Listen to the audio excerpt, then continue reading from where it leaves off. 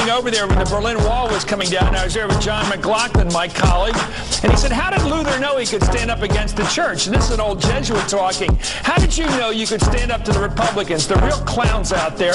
Well, we could start with Limbaugh and the rest of them, and, and you know the whole crowd. Uh, what's his name? Beck, the whole number of them. How come you knew the way to beat these guys was to put them on defense? Because they're bullies, and a bully always backs down. Don't we all know that? That's what happened here.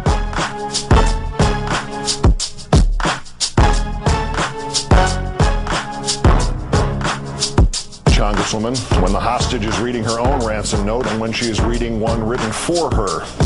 So much for Congresswoman Brown Waite. I could go on all night here and never exaggerate in the slightest.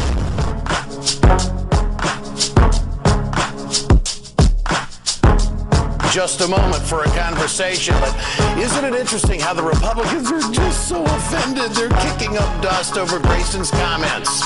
Grayson said the Republican health care plan is don't get sick, and if you do get sick, die quickly.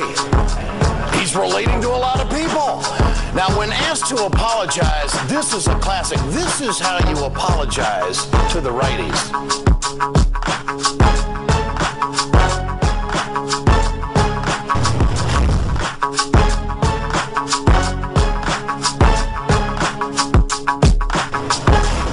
Several Republicans asked me to apologize. Well, I would like to apologize. I would like to apologize to the dead. And here's why. According to this study, health insurance and mortality in U.S. adults, which was published two weeks ago, 44,789 Americans die every year because they have no health insurance. That is more than 10 times the number of Americans who've died in the war in Iraq it's more than 10 times the number of Americans who died in 9 11. I apologize to the dead and their families that we haven't voted sooner to end this Holocaust in America.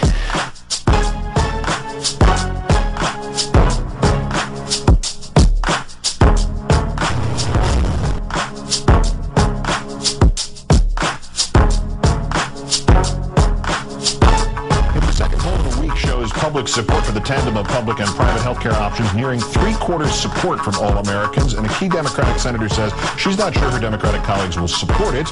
In our third story in the countdown, the natural solution here, get new Democratic senators. The new CBS News New York Times poll shows 72% of Americans say they want a choice between a government-run plan and a private one, and that 57% are even willing to pay more taxes to get it. The poll also shows Americans trust the government more than private insurers, half saying Washington would do a better job at providing coverage, 59% saying it would be better at holding down costs. Yet this weekend, Senator Dianne Feinstein called cost control such a problem that the president, even though Democrats have the numbers, may not have the votes.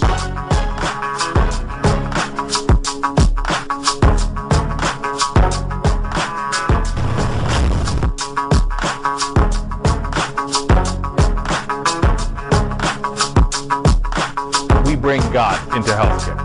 Of course, we don't, the right wing does. Uh, get a load of these quotes. First, from Olive Tree Ministries, Jan Markell says uh, to her audience, her radio audience, here's what you can do. Your congressmen and senators are coming home for much of August. They are going to have a town hall meetings all over the place. You need to go there and give them an earful. The ideal thing to do is to go there to their town hall and read them the Riot Act in Christian love. But read them the Riot Act on this issue of health As people are getting a little out of control at these town halls, you really want to encourage people to read them the Riot Act?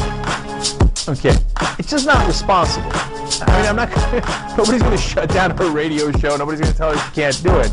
But I wouldn't use that word. Just a little sensibility, right? Okay, so we're gonna just getting warmed up here. By the way, she says you should go to. This is from the Minnesota Independent.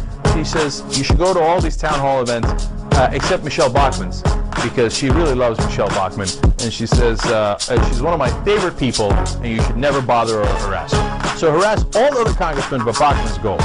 So you get a sense of her. The Minnesota Family Council writes, some may ask, what does God have to do with our healthcare system? For one, he's created the government as an institution in society to do certain things. When we reject his design for government, in a sense, we're rejecting him truly nonprofit, wieldy, round up and not round down government from helping you pay your medical bills with about a billionth of the recklessness with which it is still paying Halliburton and its spin-offs to kill your kids. who were bought and sold to defend this con game of an American healthcare system against the slightest encroachment. Republican Party has decided to go all in, all in on their effort to kill healthcare reform in this country.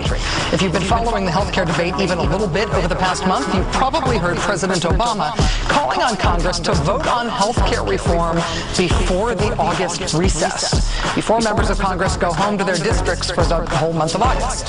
Why does the timing of this matter?